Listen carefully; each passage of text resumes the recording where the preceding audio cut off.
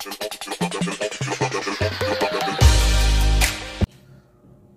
today's video, ating review naman ngayon na itong uh, Nescafe, Nescafe Creamy White na stevia po ang, ang sweetener niya.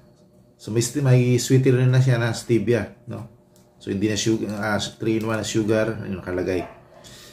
So bago pong produkto ito ng Nescafe, at alamin na po natin ngayon kung pwede ba ito sa ating mga diabetic. So doon sa mga mahilig po sa kape na naghahanap po ng safe at o ligtas na hindi tumaas ang ating blood sugar. Check po natin ito kung ito po ay uh, di po ba mag-i-spike ang ating blood sugar dito. So ito po dito, nakita po natin dito, no? Ito po yung ano, uh, with stevia. So nakalagay po dito with stevia. So titingnan po natin yung bagong produkto ng Nescafe na Nescafe Creamy White with stevia. Sa bago po yan, alamin po natin ang blood sugar para ipagkukumparan po tayo ulit mamaya.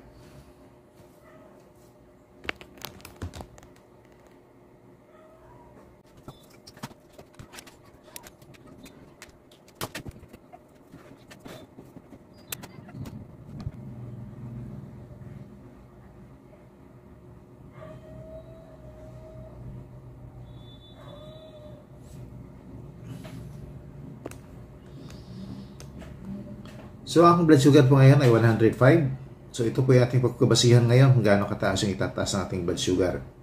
So, 105 po ang ating blood sugar. So, wala pa po akong kinain at uh, uh, nakafasting po tayo. So, ito na po yung ating titimplahin na Nescafe Creamy White. So, pinutol, dalawa po ito, twin, twin po ito. Ginupit ko na lang yung isa, tinanggal ko na. Para madali nating magamit. So, dalawahan po kasi ito. So, ito po yung ating Nescafe Creamy White with Stevia.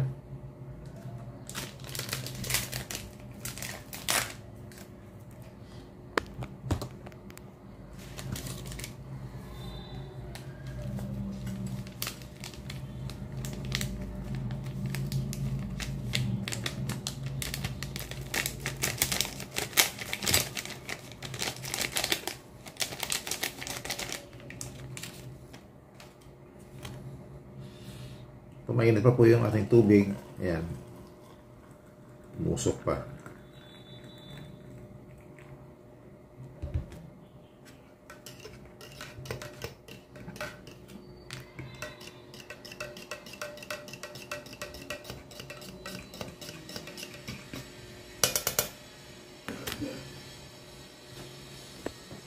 So, tikman na po natin ang bagong produkto ng Nescafe na Nescafe Creamy White with Stevia. Uh, kanyang uh, pinaka pangtamis.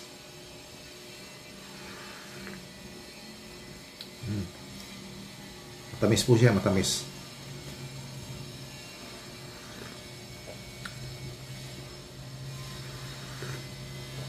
Masarap din siya masarap din. Yung kadalasan na inom natin na uh, regular na Nescafe Creamy White kaparehas din naman siya kaparehas din yung tamis. So, titingnan natin kung gagalaw ba ang ating blood sugar nito. So, mainit po po ito, no? So, babalik po tayo after 1 hour para check ulit ang ating blood sugar. Hindi ko po mabiglang mainom kasi napakainit pa. Umusok-usok pa kung nakita niyo po sa inyong screen. Mainit pa po ito. Babalik po tayo after 1 hour.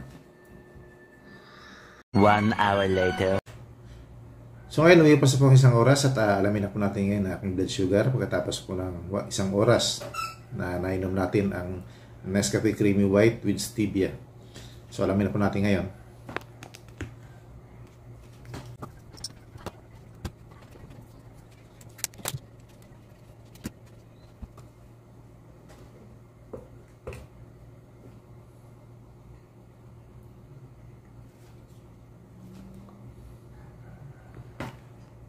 So, yun.